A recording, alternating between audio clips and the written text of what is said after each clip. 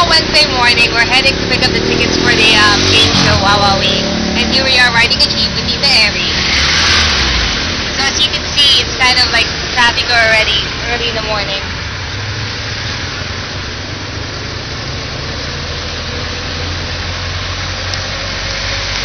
Hi, Tita Erie. Hi.